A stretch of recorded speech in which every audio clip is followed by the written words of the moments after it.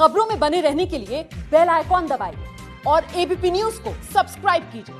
बबीता फोगाट ने भाजपा ज्वाइन की है अपने पिताजी के साथ में। बबीता बीजेपी ज्वाइन करने की सबसे बड़ी वजह क्या रही? अ, सबसे बड़ी वजह 370 ए और 35 ए मैं कहूँगी और सबसे कि मैं प्रधानमंत्री मोदी जी के विचारधारा से मैं जुड़ना चाहती थी और राष्ट्रवादी पार्टी से मैं जुड़ना चाहती और मुझे लगता है इससे बड़ी राष्ट्रवादी पार्टी कोई नहीं हो सकती और मुझे खुशी है कि मैं बीजेपी परिवार से जुड़ी हूँ और मुझे गर्व भी महसूस हो रहा है।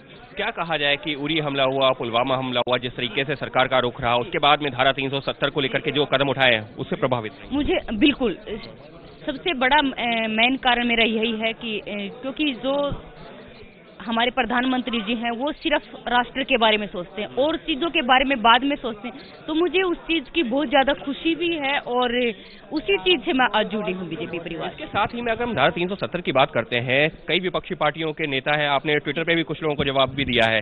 सवाल भी खड़े कर रहे हैं, पी चिदम्बरम हो या मणिशंकर अय्यर हो, वो ये भी कह रहे हैं कि देश के हालात भी खराब हो जाएँगे, जवाब नहीं दिया और गलत फैसला उसको करार दे रहे हैं। आप क्या कहेंगे?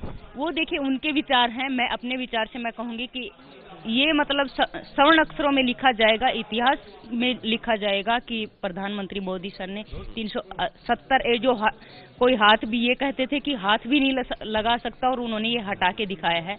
तो ये बहुत ही काबिल तारीफ़ है और एक इतिहास है। लेकिन विपक्षी पार्टियों को क्योंकि अब आप राजनीति के मंच पर आ गए हैं इस वजह से सवाल उठ रहा है। विपक्षी पार्टियों के बारे में कुछ नहीं कहना चाहूँगी। मैं सिर्फ़ जिस विचारधारा से मैं जुड़ना चाहती थी और जिस विचारधारा से मैं जुड़ी हूँ मैं उसी के बारे में एक आखिरी सवाल। हरियाणा में चुनाव भी होने वाले हैं। क्या चुनाव लड़ने का कुछ मन बनाया है? अभी कोई जो भी पार्टी जो भी मुझे ज़िम्मेदारी सौंपेगी मैं उसको बेखूबी निभाऊँगी।